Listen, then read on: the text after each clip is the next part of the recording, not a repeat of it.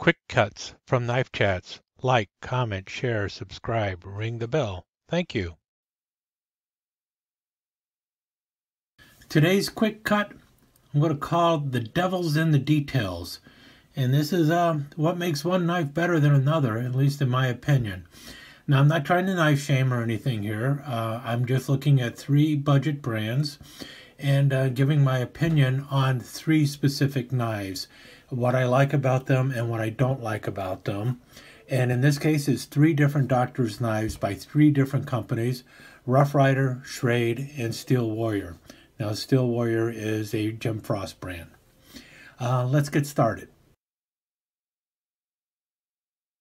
So right up front is Rough Rider, the Smoky Mountain Knife Works house brand, and also probably my favorite of the budget brands of knives. I really like Rough Riders. I also really like tortoise shell. So uh, this knife has everything going for it as far as I'm concerned, at least initially. You got uh, stainless steel back springs, uh, uh brass liners, nickel silver bolsters, a nice little uh, pill crusher in down here, you know, nice and perfect for crushing pills. You've got that long spear master blade, which I really like. And then, alas, it has a pen blade instead of a spatula. If this knife would have had a spatula, it would have been just perfect as far as I was concerned. It's got the match striker pulls and everything. It's it's just almost there. I know there's plenty of um, doctor's knives that have a uh, a secondary pen blade instead of a spatula. I like the spatula. That's what I'm looking for. That to me, that's what makes a doctor's knife a doctor's knife. Um, that and the uh, long spear blade. Most of the Rough Rider doctor's knives these days have a uh, a clip blade. I don't want a clip blade. I want a, a spear blade and a spatula. So uh, that's the problem with the Rough Rider. Now, next up is the little Schrade. This is the first doctor's knife uh, that I've ever picked up, and I really liked it. It was just uh, really cool. Um, notice though here the Rough Rider is right at three and three quarters of an inch. This one is right at three and a quarter inches long, so it's a half inch shorter than your typical doctor's knife. Um, but it does have the nice spear blade with a half stop Still got the match striker pulls. Um, not sure of what kind of uh, blade is used in it. I believe it is a 420. Schrade just listed it as surgical steel. You have uh, uh, brass liners, stainless steel back springs, and really gorgeous uh, desert ironwood handles. And uh, nice transitions to the bolsters and everything nice pill crusher in down here. So it's really a great knife. And you notice the thing I like about it, the spatula. This uh, really made me say, hey, this is really a cool knife. And uh, this one, uh, simply because it has that spatula and the desert ironwood, I like it more than the Rough Rider, even though I suspect that the blade steel is not as good as the Rough Rider.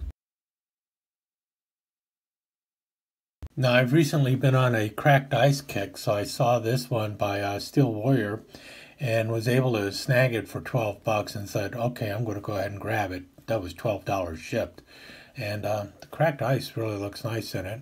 And you got, once again, the uh, brass liners, stainless steel back springs, 440A stainless steel, um, nickel silver bolsters. And you can definitely feel the transition between the bolsters and the uh, the handles, but really not too big of a problem. We're talking a $12 knife. Um, and it's got the things I was looking for. It's got a nice uh, Spearmaster blade. Yeah, there's no half stop, not a big deal. You also have a spatula over here, which is really cool. But then as you turn around to the end here, I don't know what they were thinking with the pill crusher end. Notice pill crusher end. You're supposed to be able to crush pills with it. But this is open, which means if you're actually crushing something, all that powder could fall down inside there. That's not a good idea. So that was a problem. And then um, we got this. There's no nail nick on that spatula.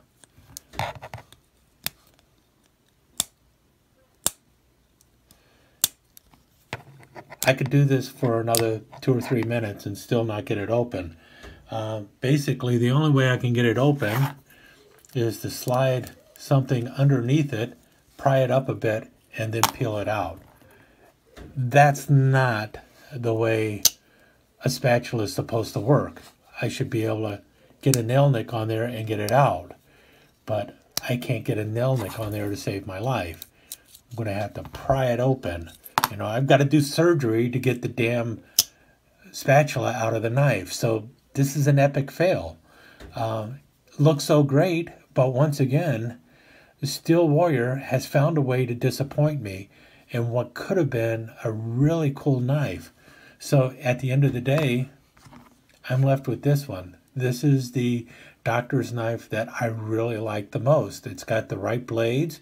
It's got nice looking handles. It's a little short, three and a, three and a quarter as opposed to three and three quarter. But, uh, you know, you do have the pill crusher in and a usable spatula. So, big score on that part. Uh, I would normally be saying stick around for a slideshow, but I took too, too long trying to open up the spatula for a slideshow, so I'm going to have to skip it this time.